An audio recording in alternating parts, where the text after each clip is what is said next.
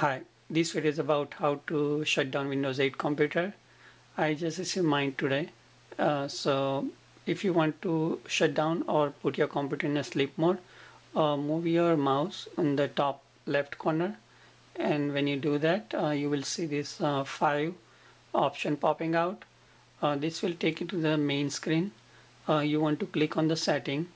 Okay, so once you click on the setting, you will see this power option you click on the power and then it will give you the sleep shutdown or restart okay?